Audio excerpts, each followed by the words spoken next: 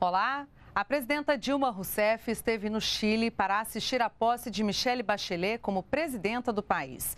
Quando Bachelet venceu a eleição em dezembro do ano passado, a presidenta Dilma telefonou para cumprimentá-la e, na ocasião, Bachelet disse que pretende trabalhar em estreita parceria com o Brasil. O primeiro compromisso de Dilma Rousseff no Chile foi um encontro com atletas brasileiros que disputam os Jogos Sul-Americanos 2014. A reunião com os atletas foi em Vinha del Mar cidade no litoral chileno, a 120 quilômetros de Santiago. A presidenta Dilma desejou boa sorte à delegação brasileira, que conta com 481 atletas. Segundo o governo, 70% dos membros da delegação brasileira que participam da competição recebem o Bolsa Atleta, Programa Federal de Apoio Financeiro aos Desportistas sem patrocínio. O Brasil lidera o quadro de medalhas. Os jogos começaram dia 8 de março e terminam dia 18.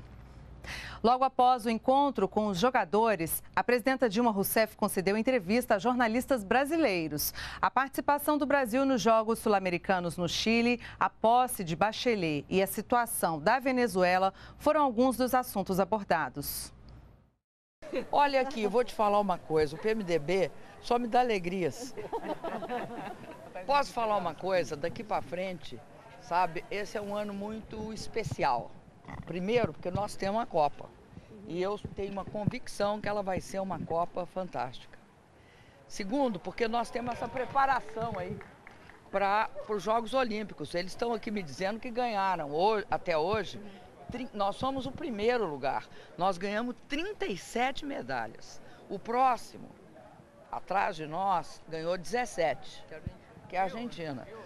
E veja você que eu estou falando de medalhas de ouro, né? E uma ótima notícia para nós, viu, meninas? As mulheres tiveram um desempenho excepcional e fantástico. Falar em mulher, Agora, a senhora se encontra hoje com uma, uma, alma gêmea da senhora, que é a presidente Bachelet. É uma, uma mulher novamente no poder no Chile. Isso é um, um indicativo importante. Olha, eu acho que é um momento especial.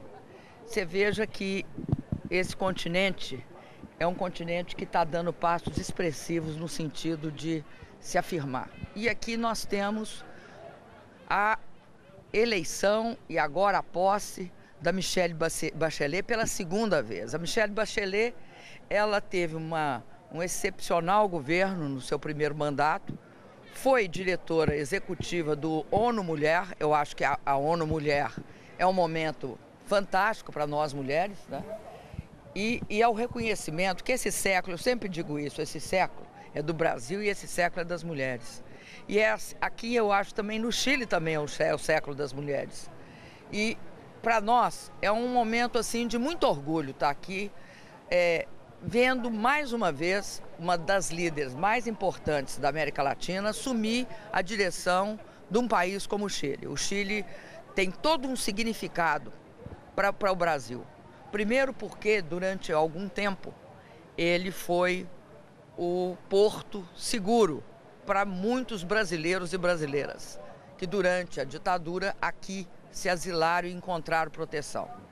Depois, pelo que o Chile tem de relação com o Brasil, eu acho que essa relação é uma relação que nós vamos querer ampliar.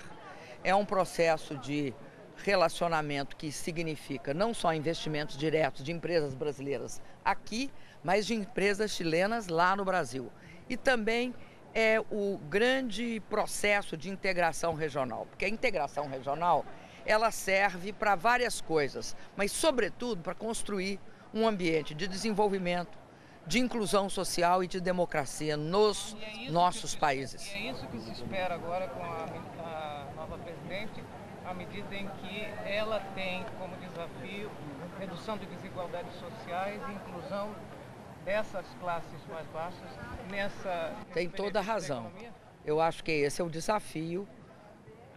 Eu, é o desafio dela e o de cada um de nós, presidentas e presidentes desta região, porque é uma região historicamente né, teve um grau de desigualdade muito grande, ainda tem.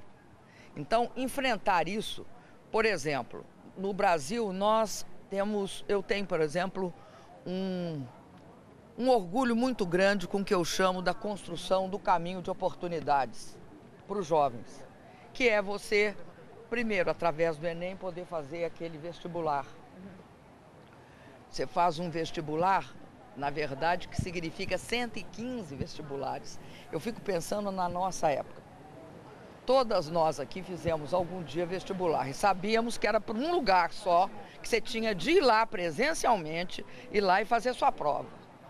Hoje, entra-se na internet e através da internet você tem acesso, com a sua nota do Enem, a todas as universidades públicas gratuitas. Caso não tenha sucesso nessa parte, passa-se para o ProUni. Caso não se tenha sucesso no ProUni, se obtém o financiamento do FIES para pagar em três vezes o tempo do seu curso mais um ano. Ou seja, se for quatro anos o seu curso, você vai pagar em 13 anos. No fim, você tem agora o Sisutec. O que, que é o Sisutec? Você faz um concurso para o curso tecnológico. E se nada disso der certo, você ainda tem, você pode fazer um curso técnico especializado de um ano e meio a dois, que te, te forma em técnico de alto nível no Pronatec. Então, esse caminho das oportunidades criou uma, um, um, um conjunto de opções para os nossos jovens. Agora, Homens e mulheres. O Maduro, Aqui... cancelou, o Maduro cancelou a viagem dele para cá. O que, que, a senhora espera? Não, não. Da reunião do, da Unasul. Olha, o que, que vai acontecer? Já estava previsto isso, até porque nós estamos no momento de posse. Então, os presidentes não vão se reunir, mas os presidentes mandataram os seus ministros de relações exteriores para amanhã fazer uma reunião, criar uma comissão que pode ser inclusive todos os países da região, representantes de todos os países da região, e fazer a interlocução pela, pela, pela construção de um ambiente né, de acordo, de consenso, de estabilidade lá na Venezuela. É isso que vai acontecer. Não vem, não vem, não, é, só um pouquinho, não vem, é, a, o fato do, de não vir um ou outro presidente não vai interromper esse processo, porque serão os os chanceleres e não os presidentes. Até por, por uma questão é, simples. É um momento de posse, nós estamos comemorando a posse dela. Então, a, é, mais, é mais correto que seja os chanceleres a fazer a reunião. A ordem democrática, a ordem democrática na Venezuela. Sempre nós, nós vamos procurar manutenção da ordem democrática. Vocês vejam que quando foi o caso do presidente Lugo, Houve um momento, houve um momento de estresse. Esse momento de estresse hoje foi superado com a perfeita inclusão do Paraguai com o novo presidente eleito democraticamente, presidente Cartes, que inclusive será é, necessariamente pelo rodízio o próximo presidente do Mercosul. E depois de desejar boa sorte aos atletas brasileiros, a presidenta Dilma Rousseff se reuniu com Michelle Bachelet, a presidenta reeleita do Chile. O encontro foi no Palácio Presidencial de Cerro Castilho. Os governos brasileiro e chileno planejam estreitar as relações. O Chile é o terceiro parceiro comercial do Brasil na América Latina, atrás somente da Argentina e do México. Além disso, o Brasil é atualmente o principal destino dos investimentos externos do Chile, com cerca de 22 2 bilhões de dólares. Terminado o encontro bilateral, a presidenta Dilma Rousseff seguiu para o Congresso Nacional na cidade de Valparaíso. Ela foi assistir à cerimônia de posse de Michele Bachelet. Bachelet venceu em segundo turno a eleição em dezembro do ano passado. Ela teve 62,1% dos votos, diante dos 37,8% conquistados por Evelyn Matei, a ex-ministra do Trabalho, que era apoiada pelo então presidente chileno Sebastião Pinheira. Após a cerimônia de posse na presidência do Chile, Michelle Bachelet recebeu chefes de Estado que foram acompanhar o evento. Bachelet ofereceu um almoço no Palácio Presidencial de Verão. A presidenta Dilma Rousseff foi escolhida para fazer o brinde em homenagem à posse de Michelle Bachelet. Dilma enfatizou o papel da mulher na política.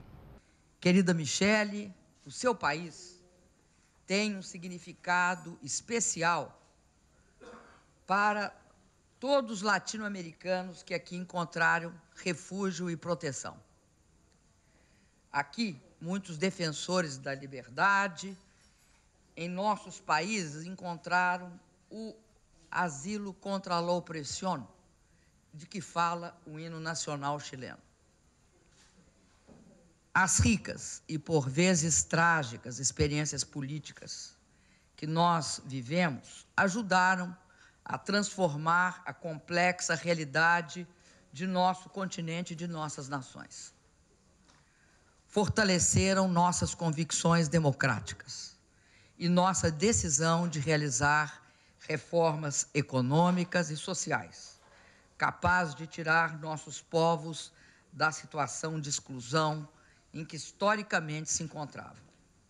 É uma grande satisfação homenagear a, a presidenta, a presidenta Michelle Bachelet, pois tenho presente o significado deste momento para muitas outras mulheres e homens que, assim como nós, tiveram um passado de ativa militância política e um presente de construção da democracia e do desenvolvimento em nossas nações.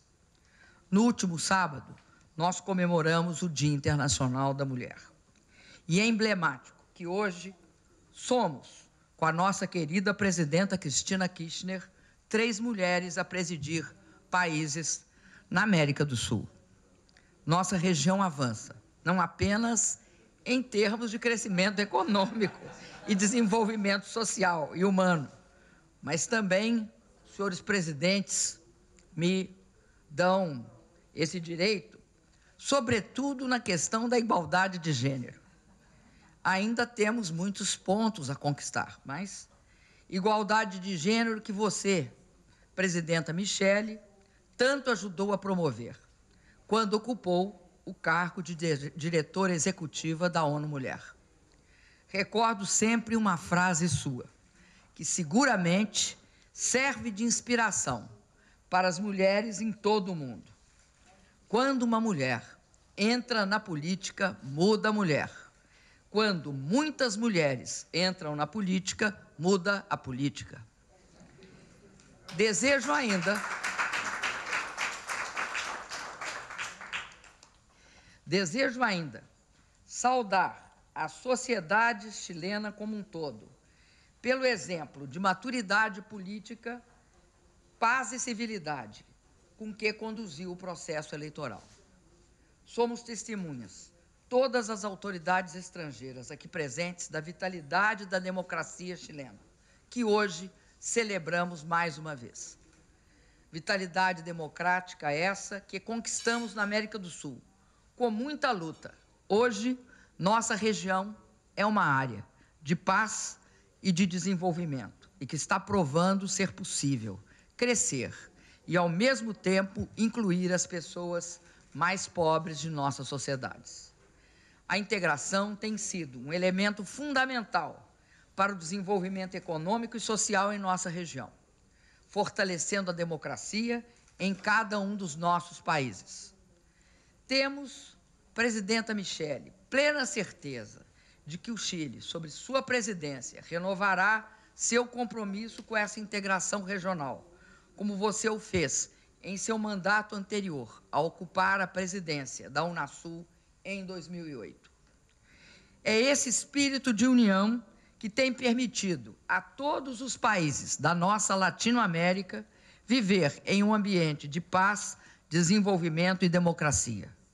O sentimento que desejo expressar nesse momento, em nome de todos, é enorme alegria de podermos vê-la, uma vez mais, presidindo esse país irmão.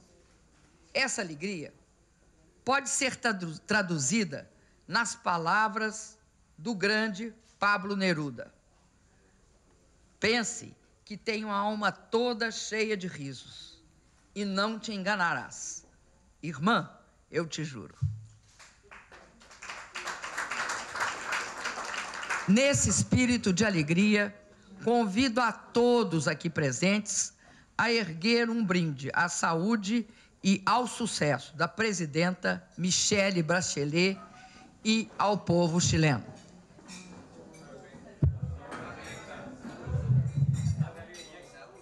Depois do almoço, Michele Bachelet posou para a foto oficial com os chefes de Estado. Michele retorna à presidência após governar o país entre 2006 e 2010, quando Sebastião Pinheira foi eleito. No Chile, o presidente não pode concorrer a dois mandatos consecutivos. A nova presidenta do país assume com a meta de reformar a Constituição, que foi criada em 1980 pelo regime militar de Augusto Pinochet. Veja agora imagens da viagem da presidenta Dilma Rousseff ao Chile.